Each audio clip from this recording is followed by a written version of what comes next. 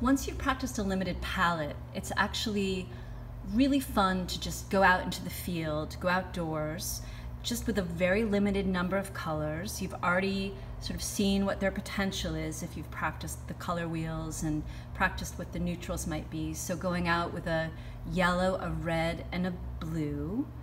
And what I like to do sometimes is just go and make a really quick linear sketch, maybe a bit of a tonal sketch. I love using ballpoint pen. This is an example of that. And then come in and you can, a lot of artists just label colors. Like I have turquoise, gold, yellow, blue, green, light ochre with arrows pointing to those zones. But then what I also did is I went in and I made little notations, just really simple notations about the colors I was seeing. I didn't do the full painting on location, I just did that. And then I made a tiny, look at, I mean, compared to my hand, this is a tiny little sketch on location just from what I'm seeing and just from the colors that I'm discerning when I'm out there. And what's great about making a tiny sketch like this is it simplifies things. It's really fast. This probably took me about three minutes to put down. And I don't get all futzy with all the little details. So collecting color data in this way can be really, really liberating. Another possibility when you're collecting color data, which I often do, this is a study I did in Italy last summer, is to work on the piece but then on the bottom, show the work.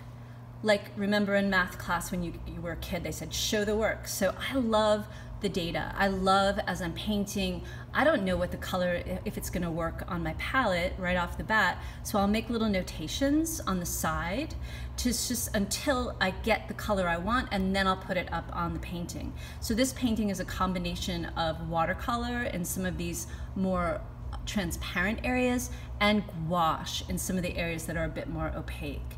This is also an example of my process when I'm out working outdoors. I'll often put down the date and the time of day, but also make a little haiku uh, to center and arrive even before I start the sketch. So this haiku says, sketching on the hill, shaded by the olive tree, ambition loosens.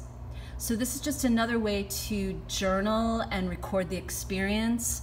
And then coming back to the studio, you have all of these moments, the haiku, the color data, the small sketch to work from for a larger painting. Another fun possibility is looking at a master painting. So this is a Corot. I love Corot. So this is a Corot landscape.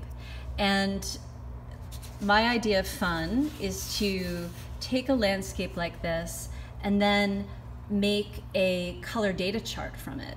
So every color that I discerned in the Corot is actually in one of these little gridded uh, color swatches. And notice along the side how I've included all my trials. So trials are okay. Actually, trials are beautiful because it shows that you know you're trying again and again to try to get the right color. And then as soon as I got the right color I went ahead and I put it down on this grid. And you can make grids like this by using sort of um, painter's tape just taping it off. And then when you're done with all the color segments you peel it off and you can get a grid like that. And then from that painting or from that data, I was able to actually do a little bit of a copy um, and both linear and painterly. Uh, this is Avignon from the West. Uh, and I worked from the original Corot. So this is actually a great exercise if you feel up for it to practice color, um, looking at a master painting and even if you just did this part, looking at a master painting and put the data down, that's a really great way to practice color. And again, when you're out in the field, or even if you're working from a photograph, you can do something looser like this, really putting down the colors that you see along the side of the picture. And it doesn't matter that you show the work. In fact, I think that's what often makes it feel more human and more beautiful. So this idea of collecting color data for the sake of practicing mixing color, but also for the sake of the freshness and the comparison that you're making to your motif. So give it a try whether a loose effect like this seems more pertinent to what you might like or even something more systematic like this where you're looking at a photo or you're looking out at nature or you're looking at a master study just to continue to practice color mixing and also mimicking how your motif is inspiring you with color.